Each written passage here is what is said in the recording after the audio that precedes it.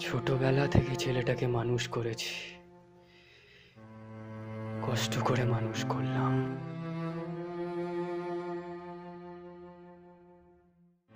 বছরের পর বছর আমি এখানেই ওর জন্য অপেক্ষা করছি। জানি না ও ফিরবেও কি না, তাও আমি অপেক্ষা করব। ওর জন্য অপেক্ষা করব।